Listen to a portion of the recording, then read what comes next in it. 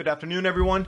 Spring is going to hold off for a few weeks longer in Europe as this crushing Arctic low pulls all the way down to the Middle East, dropping sleet and snow across 75% of Europe, all the way down into Syria. With all this hot and cold air mass mixing, supercells abounding across Europe, Russia, Italy, and more out of season storms in Myanmar. It's supposed to be the dry season throughout Southeast Asia, India, and the Himalaya until approximately late May or June, but massive thunderstorms ripping apart homes in Malaysia. Large cold blob now envelops the Indian Ocean.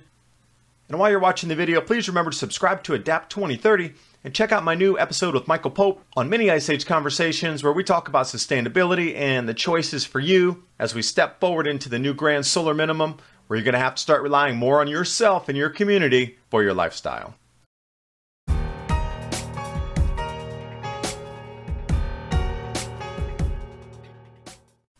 And the media will have you believe that it's springtime already and winter is long gone and it was such a mild winter this year.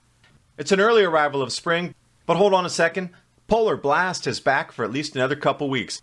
This is going to drop temperatures 15 degrees Celsius below normal across 75% of Europe. As it unfolds, it should look a little something like this. That dark purple is intense cold, and that dark blue is going to sweep all the way over through Syria and Iraq. Along with this front, sleet and heavy snow. And as would be expected with the convection and the slamming together of warm and cooler air masses, unusual supercells in unusual locations, and the ferocity of the electrical storms apparently is something to behold. They can feel their skin and hair raising on their bodies in their homes. Let's start with Bavaria. Incredible image of the lightning here. That is that same purple color that was reported in India last week. Deep cells, that looks like something straight out of the central United States before tornadoes drop.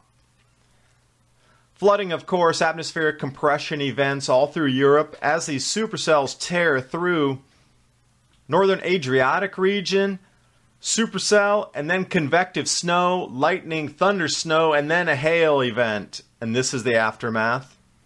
Depth here on the roads to give you a gauge of how much frozen precipitation came down. Jumping over to Moscow, you don't normally think of supercells 65 to 70,000 feet tall over the Russian capital, but this is what's happening. Southern Italy, supercells dropping hail. Northeast of Milan, the same types of supercells are being reported across Europe. Beautiful cloud formations accompanying this. And on a side note, how lucky is the photographer here? Look at that backdrop against the cathedrals that's literally a once in a lifetime shot, and the sunlight was perfect. Also, the ESSL Large Hail Report out for 2016 2,795 events. Now, with these convective cells already rolling in and dropping so much hail, I, in my personal opinion, feel that this is going to eclipse 3,000 events this year, just from the number of incredible weather fronts coming together that are mixing in temperature, causing these same types of tornadoes that are spreading across Europe right now. Changing course a little bit here, Indian Ocean. Cold blobs should stay around for about two years. West Australia, exceptionally cold waters below normal, as well as South Africa. The cold blobs still off the west coast of Canada and the U.S.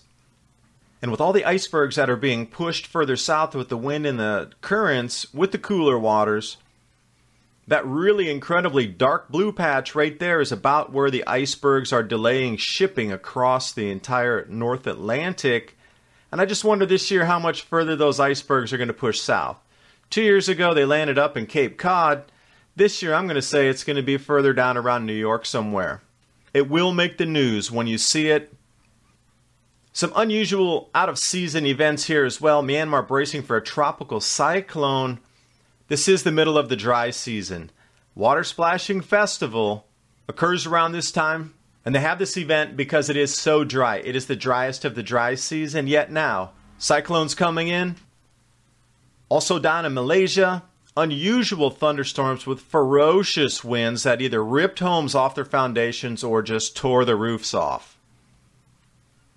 Taking a look in the same area, Alor Setar, they do have some rain in April, but the main precipitation comes down in the regular monsoon, August, September, October. Look here at the track of the cyclone that's going to pass over into Southeast Asia. This is going to have an enormous amount of thunderstorms accompanying it. And those of you traveling up in Laos and northern Thailand, the roads you cross to go into these villages while you're trekking, when this cyclone dumps out and all these periphery storms sweep through, all those riverbeds and creeks that were dry, when you went in there, are going to be raging rivers, and it's going to take weeks for them to get low enough so you can get back out. Bridges will be washed away, there'll be floods up the hills. And if you are trekking up there, please take caution and know that you might be stuck a little bit longer than intended, and it will be extremely dangerous to cross those rivers. They will be raging torrents. Taking a look at Null School, you can easily see over Myanmar that purplish color is where the cyclone will be tomorrow. And then we just go right up to Japan. They're expecting record snow right now and intense precipitation events coming across Japan. Also, Australia, center of the continent, known for being a desert. This year, record rains with the most amazing wildflower bloom. And here we are, intense rains again. Center of the Atlantic, that front swept off of the U.S. is going to be pushing over to Europe in about four days. And everywhere you look, there are out of season storms in the wrong places. The intensity of the vortices of the wind on our planet has definitely stepped up a notch. This is the beginning of the grand solar minimum weather changes that you'll see that are going to start destroying crops. They already have. Just have to keep your eyes open for regional losses at the moment. What I'm talking about is global crop losses above 45 north coming up by 2019. This is it. The grand solar minimum's here. The intensification is just going to step up and up and up from this point forward every year. So when you look back at 2014, you say, wow, these, these events sort of happened, but there was only one or two here and there. But now it's everywhere all the time, and this is going to be the new norm. And as we look through the entire cycle duration of coming up, the intensity from these events will not peak until 2024, 2025, with the coolest period. So use that as a gauge from the ramp up that you've seen last year to this year. You know the intensity's increased. You can feel it, you can see it. And I do thank you for watching the video. I hope you got something out of it. And when we talk about crop losses, jump over to Trade Genius and talk to Bob Kudla. They're trading on the exact same areas where they see these storms intensifying year upon year. So it's setting a trend. So if you see that it's been flooding and atmospheric compression events in the last three years, you know probably that in the next year they're also going to lose crops in the same place due to flooding. And if you pinpoint it on a map, and if you set up a database on the map so you can see exactly which places are repeating the pattern, you can see which crops are grown there, and then you can adjust your strategy. Now, on the inverse, some places are actually becoming more mild with the weather, and there's also a way to track that.